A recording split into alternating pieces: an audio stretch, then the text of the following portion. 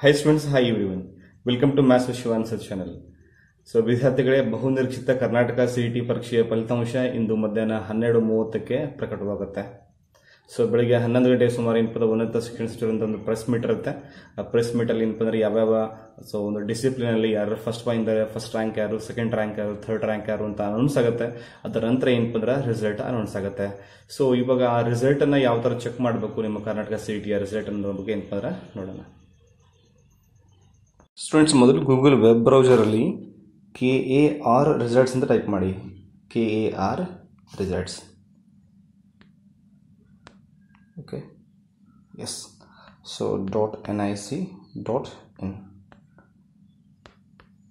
okay yes so ಇವಾಗ ಈ ಥರ ವೆಬ್ಸೈಟ್ ಓಪನ್ ಆಗುತ್ತೆ. ಇದ್ರ ಮೇಲೆ ಕ್ಲಿಕ್ ಮಾಡ್ಕೊಳ್ಳಿ.